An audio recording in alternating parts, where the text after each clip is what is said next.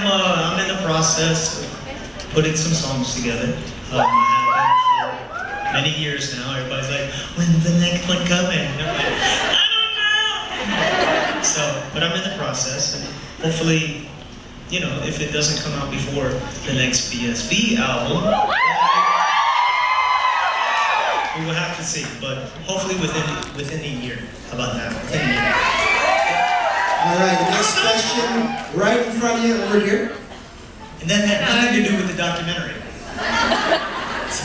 This is a question to all of you. Where you at? I'm here. Sorry. Oh, there you go. We lost. Um, so any one of you can answer. If you was gay and you had to choose a partner from the group, who would you choose?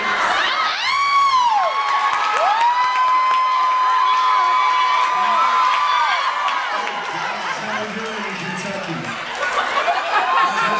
I'll go first. Yo, cousin. I want to get mine out of the way. I would go with Kevin because he's got a very big.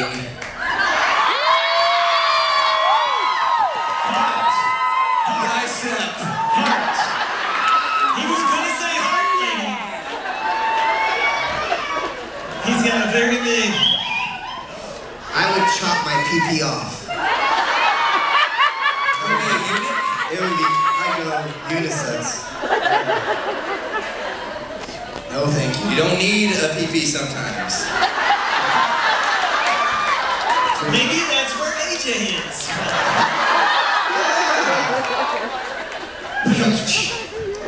Does anyone have a question about the documentary?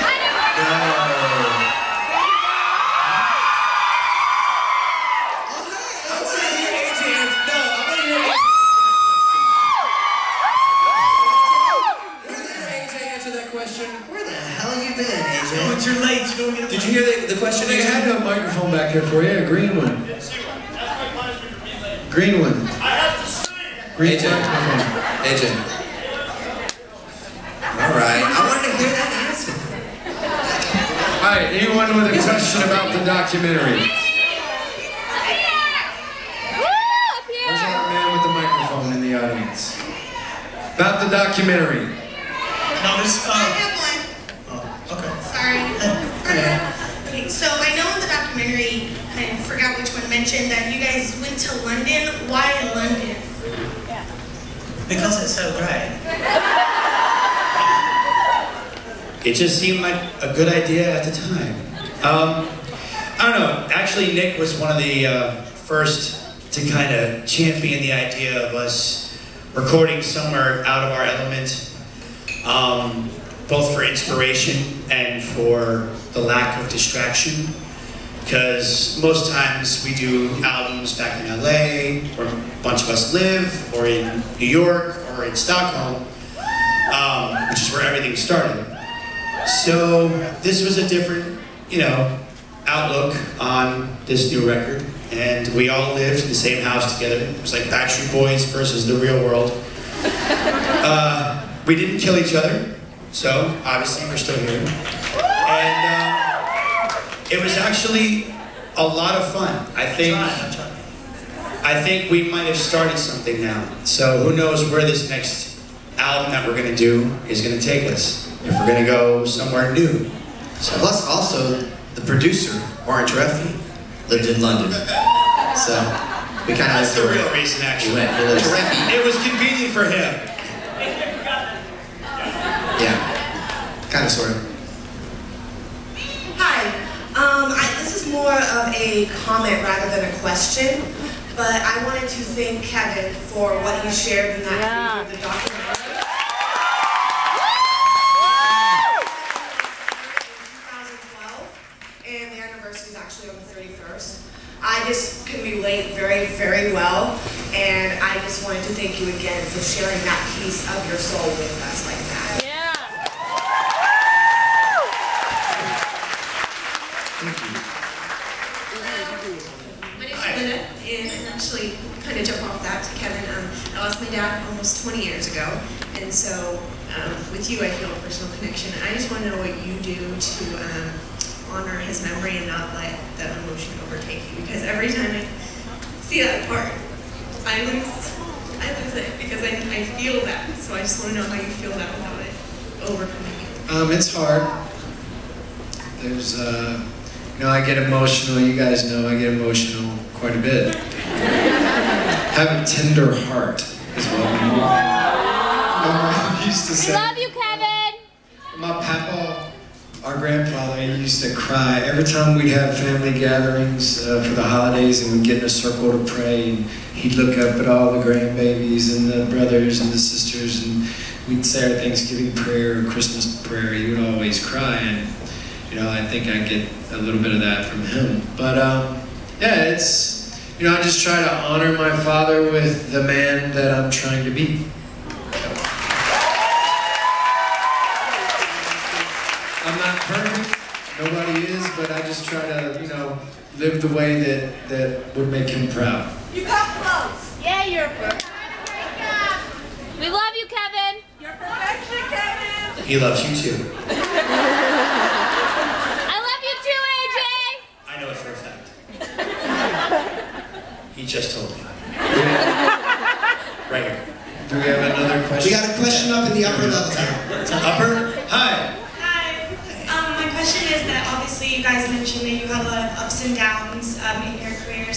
So if you could tell your younger selves something, looking back on your career, what would it be?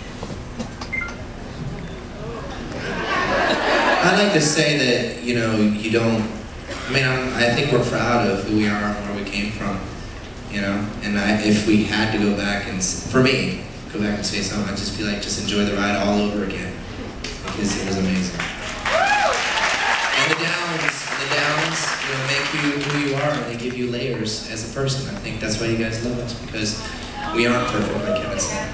So. We're not perfect, you know. We're all gonna make mistakes. I don't think I would tell my younger self anything different. Um, probably the only thing different would, for me, I probably would have got my hair done sooner. Um, besides that, I think I'm about as perfect of a version of myself as I could ever be. So that's about as good as it's gonna. You know, uh, looking back on the things I've done, I was trying to be someone. Uh, you know, really played a part. Uh, and kept a lot of people in the dark. And it's important to show the shape of your heart. So, so closely said. It's. That was right-handed. I was going to do the Spanish version, but I don't know the Spanish version. Brian's got two stand-up shows Friday, Saturday. Come and see it live. I'll be here all night for real. Hello. I kind of have a two-part question. It was, you know, the documentary's getting released in January in the US. Is that also in the UK and Europe? That's a good question, isn't it? I'm sorry about my voice. Sorry. I love the accent, I do. Uh, most likely it's looking like February for, for Europe. That's what it's looking like right now. And also it's to ask what's That can change. for you guys as well. What's next for the Bachelor? Well, next New next record. year we're gonna we're gonna go on tour in uh, in Central and South America and Australia, New Zealand, because we have not taken the In a World like this tour to our fans in uh, Latin America, South America, Central America, Australia, down we're gonna hit the Pacific Rim as well, like some probably Southeast Malaysia, Indonesia, Thailand. And we're gonna make a brand new album as well. So, We're gonna start. We're gonna start the process. We'll start the process of that.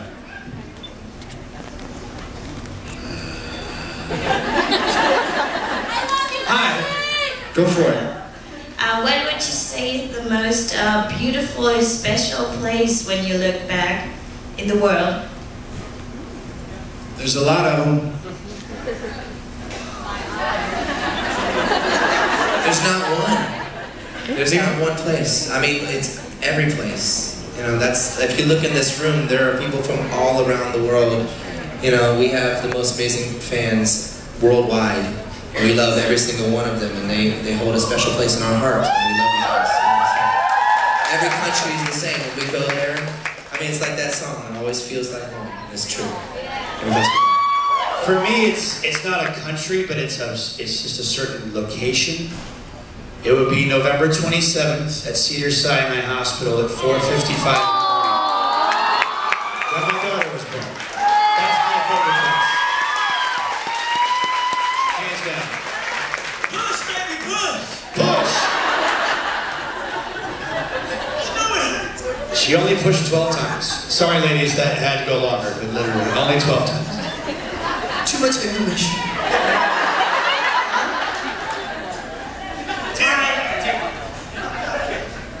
Hello. Hello. Um, when you were filming the documentary, what was one thing each of you learned about one of the others that surprised you, or that you didn't know? Gotta wait and see. I think when we did the uh, going back to each other's homes, which I don't know actually how much you guys saw of it, but uh, that was something we really wanted to do because you know we've known each other for 20 years, but we didn't know each other previously before that. I mean, well, Kevin obviously and Brian knew each other as cousins, and I kind of knew this new brick over here, Adrian, a little bit, some acting stuff, but but we didn't really get a chance to know life before Backstreet, so that's something we wanted to go out of our way to go to each other's homes. And um, we really went in and learned a lot about each other. I mean, I think going to Kevin's, uh, the, the, the church, the, the place that he grew up, um, what- Ken Grounds. Cathedral Domain. Yeah. like we had heard Kevin talk about that, you know, for many many years, but to actually go there and see it, and to go to AJ's school, um, to go to Nick's school, and, and to see each other where some of us grew up in our different neighborhoods and stuff like that. It was really, I think, every day we did it for what three days, I think. One day AJ down in Florida, and then Orlando. We actually went back to some of our old stomping grounds where we did some of our first rehearsals, and then uh, a day up in uh, Kentucky for Kevin and Brian. But I think each day, I don't know, I felt closer and closer to each of us here. And um, it's strange because we had already spent 20 years of our lives, but you, we actually had a, a even a stronger bond after doing that. So it was very emotional. It was very educational. I thought it was cool to see uh, AJ's teachers that really like kind of took took the instinct that they had of his talent and, and his, his passion for acting and theater and singing and it was neat to meet them and to hear them tell stories. It was neat to hear Barry Turner and Brian reminisce about Brian being in chorus and, and when Barry first heard Brian's voice and it was cool to, to meet Nick's teacher that inspired him. You know, it was really cool. It was cool to like how he. They didn't show it probably yet. You guys probably haven't seen. it. There's a really neat story how he shares. I was just talking talk about that. You're gonna, With you're gonna get a kick out The of. one with the rabbit. That's something I never knew about you, but I'm really glad that you didn't do it. Even though your dad did it later. Yeah, they don't know yet, so don't spread it yet. Something really, something really, really cheesy. Yeah, something really cheesy though. Nick has a scar on his on his knee, and we never really knew like the whole story. And then to go see where he got hurt, the fact that his dad told him like he didn't really believe in hospitals, so his dad just took him home and stitched him up in the house. Oh. Real like ghetto version of stitching, you know. And that's why he's got the best looking scar on his knee now. That's called a redneck hospital. Yep. That's how you do it in Tampa, boy. Yeah. I have a question. Uh, I may have a comment rather, and then a question. Hi. I'm from Western Kentucky, and it is not near as beautiful as Eastern Kentucky. So that's my comment. My question is: Is it true that Kevin and his wife got married in that cathedral we saw? Um, we got married at the campground there, but we actually there was an outdoor, and I wish we would have. We walked right past it, and we should have walked up into the shrine. It's it's an outdoor like chapel with like stone benches and a stone altar. It's beautiful. It's built right in to the side of the mountain. So it's really, really pretty. Yeah. Thank you for your question, Judy. So we got married in the uh, in the outdoor chapel outside, but we did get married at that camp. That's where we got married. The guys all came out for that. It was awesome. And believe it or not, Kevin cried. Who would have thought? Who knew? Who would have thought? Hello. Hi guys, my name is Risha from the San Francisco Bay Area. Yeah! Niners. Go on, right? Niners. Giants. No, I saw it, yes. Anyway, um, I had a question in terms of you guys saying you went to London to free yourself from distractions. How did the spouses and children feel while you guys were away? They were pissed off. They missed us. No, they, they understand, you know. We're really lucky that actually all five of us here have amazing second halves in our lives. That we all have very, very supportive wives. And I think that's why each of us took the time to find the right person. Um, because it is a real challenge to be married to any of us, that's for sure, in our lifestyles. Um, but you know, we're really lucky that we have the opportunities to take our kids with us sometimes on tour, like especially in the States, um, sometimes in Europe and Japan.